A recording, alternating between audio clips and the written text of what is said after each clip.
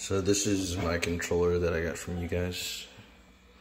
Um, it's got the stick drift on the right thumbstick, and sometimes it doesn't work, and it like kind of like jerks left and right, and uh,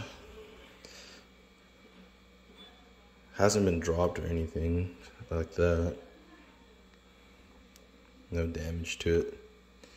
I've also tried with like the other thumbsticks to go on it. Um, and uh, here's the case that it goes in. If you need to see that picture.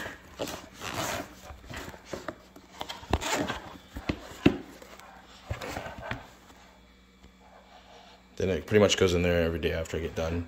But as far as like what's wrong with it,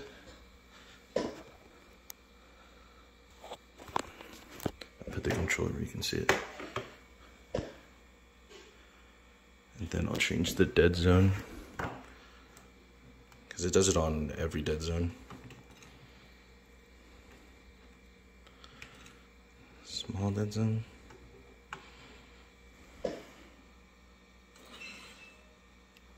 And then most of the time when I'm actually trying to play, it just jerks, jerks, jerks, jerks. It's not like real smooth like this. And then even on the large dead zone.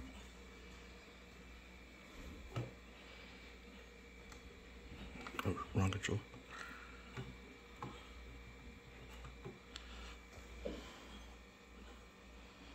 Same thing.